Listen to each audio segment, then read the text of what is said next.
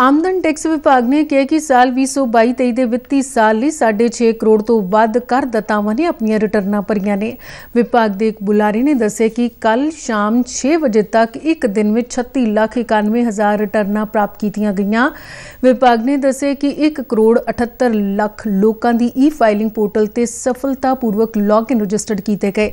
ਵਿਭਾਗ ਨੇ ਕਰਦਾਤਾਵਾਂ ਤੇ ਟੈਕਸ ਕਾਰੋਬਾਰੀਆਂ ਦਾ ਇਸ ਗੱਲ ਲਈ ਧੰਨਵਾਦ ਕੀਤਾ ਕਿ ਉਹਨਾਂ ਦੇ ਸਹਿਯੋਗ ਨਾਲ 6.5 ਕਰੋੜ ਆਮਦਨ ਟੈਕਸ ਰਿਟਰਨਾਂ ਫਾਈਲ ਕੀਤੇ ਜਾਣ ਦਾ ਮੀਲ ਪੱਥਰ ਹਾਸਲ ਕੀਤਾ ਹੈ। ਵਿਭਾਗ ਨੇ ਉਹਨਾਂ ਕਰਦਾਤਾਵਾਂ ਨੂੰ ਵੀ ਅਪੀਲ ਕੀਤੀ ਹੈ, ਜੇਕਰ ਉਹਨਾਂ ਨੇ ਆਪਣੀ ਸਾਲ 2022-23 ਦੀ ਆਪਣੀ ਰਿਟਰਨ ਫਾਈਲ ਨਹੀਂ ਕੀਤੀ ਹੈ, ਤਾਂ ਬਿਨਾਂ ਸਮਾਂ ਗਵਾਏ ਇਹ ਰਿਟਰਨ ਦਾਖਲ ਕਰ ਦੇਣ।